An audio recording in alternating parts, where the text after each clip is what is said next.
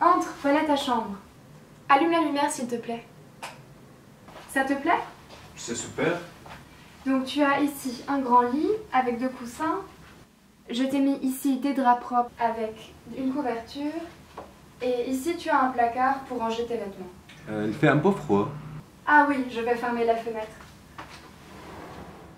صوفي فتحت النافذة للتهوية. تذكروا جيدا إطفاء النور عند.